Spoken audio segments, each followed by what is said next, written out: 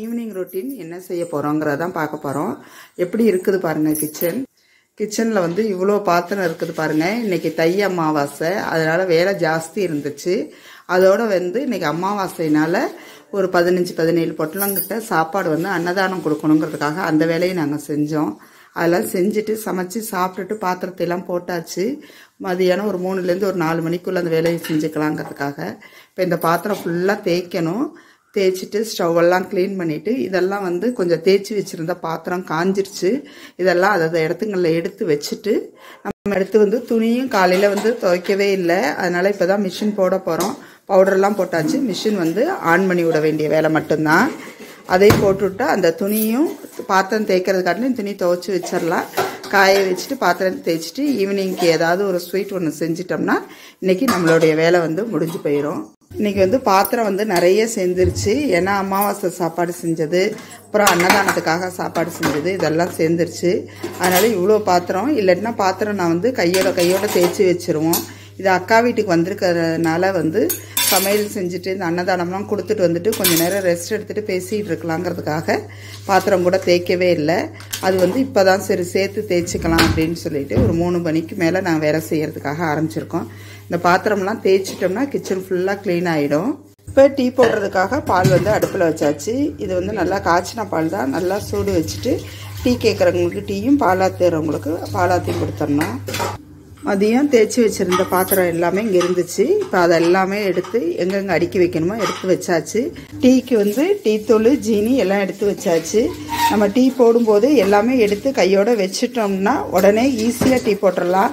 நீங்கள் ஒன்று ஒன்று ஒவ்வொரு வாட்டி எடுக்க வேணாம். ஒரு வேலை செய்யும்போது எல்லாமே பக்கத்தில் எடுத்து வச்சுட்டு செஞ்சிங்கன்னா வேலை சீக்கிரம் செஞ்சு முடிச்சிடலாம். பால் நல்லா கொதிச்சிருச்சு. பால் வேணுங்கிறவங்களுக்கு பால் எடுத்து வச்சாச்சு. இப்போ டீ கேட்குறவங்களுக்கு டீ தூள் போட்டாச்சு. நல்லா கொதிச்ச பிறகு நாட்டு சர்க்கரையும் ஜீனியும் ஏதாவது ஒன்று போட்டு டீ ஆற்றி குடிச்சிட்டு அந்த பாத்திரத்தையும் தேய்ச்சிடலாம். இப்போ அதே மாதிரி வந்து நம்ம ஒரு பொருள் எடுத்தோம்னா கையோடு அதை வச்சுருங்க.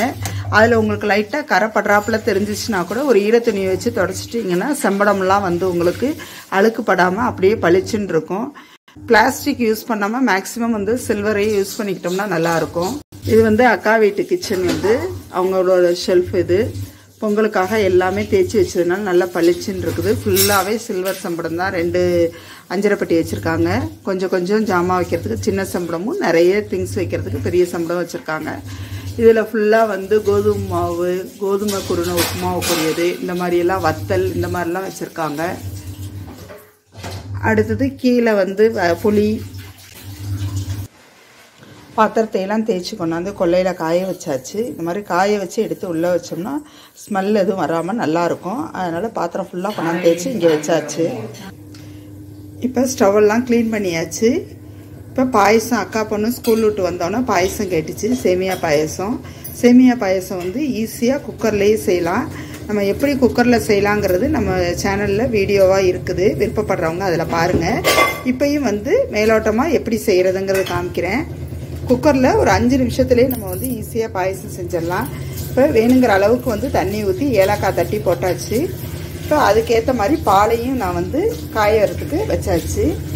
இப்போ தண்ணி கொஞ்சம் கொதித்த பிறகு நம்ம சேமியா ஜவ்வரிசி எது போடணும் விருப்பம் இருக்கோ அதை போட்டுக்கலாம். இன்றைக்கி நான் வந்து சேமியா மட்டும்தான். அதுவும் வறுத்த சேமியா தான். அதை தான் போட்டு இன்றைக்கி பாயசம் வைக்க போகிறோம் பாயசத்துக்கு ஒரு ரெண்டு கல்லுப்பு போட்டுக்கோங்க. தண்ணி நல்லா கொதிக்க ஆரம்பிச்சிருச்சு. இப்போ நம்ம வந்து சேமியா வறுத்த சேமியாவை கொட்டிக்கலாம். இப்போ இது நல்லா கொதிக்க ஆரம்பிச்சிருச்சு பாருங்கள் இந்த மாதிரி கொதித்த பிறகு தான் குக்கர் மூடி போட்டு நம்ம மூடணும். நீங்கள் வந்து வறுக்காத சேமியாவாக இருந்துச்சுன்னா வறுத்துட்டு செஞ்சீங்கன்னா நல்லாயிருக்கும் இல்லை வந்து அப்படியே போடுறதா இருந்தாலும் போட்டுக்கலாம். ஆனால் வந்து அது வந்து மூணு விசில் விடக்கூடாது ரெண்டு விசில் விட்டால் போதும். வறுத்து சேமியானா நல்லா நின்று வேகும். அதுக்காக இதோட ஜவ்வரிசி நீங்கள் போடணும்னா நீங்கள் வேலை செஞ்சிட்டு இருக்கும்போதே ஒரு அஞ்சு நிமிஷம் ஜவ்வரிசியை தண்ணியில் போட்டுட்டு இதுக்குள்ளே போட்டிங்கன்னா அதுவும் நல்லா வெந்துக்கும். இப்போ இது நல்லா கொதிக்க ஆரம்பிச்சிச்சு குக்கர் மூடியை போட்டு மூடி ஒரு மூணு விசில் விடுங்க. விட்ட பிறகு ஒரு அஞ்சு நிமிஷம் சிம்மில் வச்சுருந்தீங்கன்னா நல்ல சேமியாக வெந்து போய்க்கும். அதுக்கப்புறம் வந்து நம்ம காய்ச்சின பால் ஜீனி முந்திரி திராட்சையெல்லாம் போட்டு தாளிக்க வேண்டியதான் சிங்கில் இருந்த பாத்திரமெல்லாம் டோட்டலாக அம்மா எல்லாமே தேய்ச்சிட்டாங்க. தேய்ச்சிட்டு கொள்ளையிலையும் காய வச்சு வச்சாச்சு.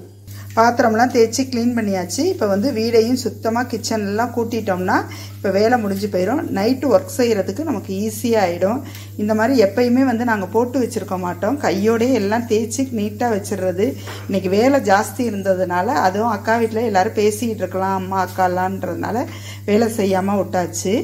அதனால தான் இப்போ இன்னைக்கு கொஞ்சம் ஸ்லோவாக செய்கிறோம் இப்போ சேமியா வந்து நல்லா வெந்துருச்சு. ஸ்ட்ரீம் போன பிறகு குக்கரை ஓப்பன் பண்ணி பார்க்குறோம் சேமியா எந்த அளவுக்கு வெந்திருக்கு பாருங்கள் நம்ம பாத்திரத்தில் வேக வச்சா கூட டைம் ஆகும். இது சீக்கிரம் வந்துருச்சு. அதே மாதிரி அடி கூட பிடிக்கவே கிடையாது. நல்லா வெந்துருச்சு. நீங்கள் நான் வந்து தண்ணி ஊற்றி வேக வச்சேன். உங்களுக்கு பால் ஊற்றி வேக வைக்கணும்னா கூட செய்யலாம். ஆனால் நல்லா சிம்மில் வச்சுக்கோங்க. பால் வந்து பொங்கி வராத அளவுக்கு. இப்போ இதில் வந்து நமக்கு தேவையான அளவுக்கு பால் ஊற்றிட்டு ஜீனி போட்டுட்டு முந்திரி திராட்சை நல்லா நெய்யில் வறுத்து கொட்ட வேண்டியதான் இப்போ சேமியாவுக்கு தேவையான அளவுக்கு வந்து ஜீனி போட்டுக்குவோம். உங்களுக்கு இனிப்பு எந்த அளவுக்கு தேவைப்படுமோ அந்த அளவுக்கு போட்டுக்கோங்க. இப்போ ஜீனி வந்து இந்த சூட்லேயே வந்து மெல்ட் ஆகிடும் அப்படி நீங்கள் ரொம்ப ஆறி போயிருச்சுன்னா ஸ்டவ் பற்ற வச்சுக்கிட்டு ஜீனியை சிம்மில் வச்சுட்டு ஒரு கலரு கலரி விட்டிங்கன்னா மெல்ட் ஆகிக்கும் இப்போ நமக்கு இதுக்கு தேவையான அளவுக்கு வந்து பால் ஊற்றிக்குவோம் இப்போ வந்து பாயசம் வந்து ரெடி ஆயிடுச்சு. இது வந்து எமர்ஜென்சிக்காக உடனே செஞ்சு சாப்பிட்ற பாயசம். உங்களுக்கு வேணுன்னா மில்க் மைடெல்லாம் ஊற்றிக்கலாம் செஞ்சுக்கலாம். அந்த மாதிரி செஞ்சிங்கன்னா இன்னும் நல்லா ரிச்சாக இருக்கும். இது உடனே நம்மள்ட்ட இருக்கிற பாலுக்கு பால் குடிக்காத பிள்ளைங்களுக்கு இந்த மாதிரி பாயசத்தை செஞ்சு பால் ஊற்றி கொடுத்தா குடிச்சிருவாங்க. பாயசம் வந்து ரெடி ஆயிடுச்சு. இன்றைக்கி அக்கா வீட்டில் ஈவினிங் செஞ்ச வேலை இதுதான். அக்கா வீட்டில் உள்ள கொய்யா மரத்தில் நல்லா காய் இப்போ தான் வைக்க ஆரம்பிச்சிருக்கு. பிஞ்சு இன்னும் கொஞ்ச நாள் ஆயிடுச்சுன்னா நல்லா காய் காய்க்க ஆரம்பிச்சிரும். பிஞ்சு நிறைய வச்சுருக்கு பாருங்க.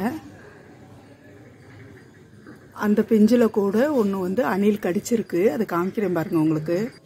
எவ்வளோ அழகாக வந்து உட்காந்து கடித்து சாப்பிட்டுட்டு போயிருக்கு பாருங்க. நல்லா பெருத்து காயாக இருந்துச்சு அது. அது வந்து கடித்து சாப்பிட்டு போயிடுச்சு.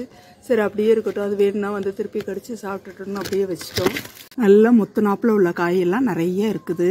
இன்னும் ரெண்டு மூணு நாள் ஆயிடுச்சுன்னா காய் நல்லா வந்து பெருசாகிடும் சாப்பிட்றதுக்கு நல்ல டேஸ்ட் நல்லாயிருக்கும் அதேமாரி இந்த கொய்யா இலையை வச்சு டீ மாதிரி போட்டு குடித்தோம்னா சுகர் பேஷண்ட்க்கு நல்லா ரிலீஃப் கிடைக்கும். கொலஸ்ட்ரால் கண்ட்ரோல் பண்ணுறவங்களும் இந்த கொய்யா இலை டீயை போட்டு குடிச்சிங்கன்னா உங்களுக்கு வந்து கொலஸ்ட்ரால் வந்து கண்ட்ரோல் ஆகி வெயிட் லாஸ் வந்து ஆகும்.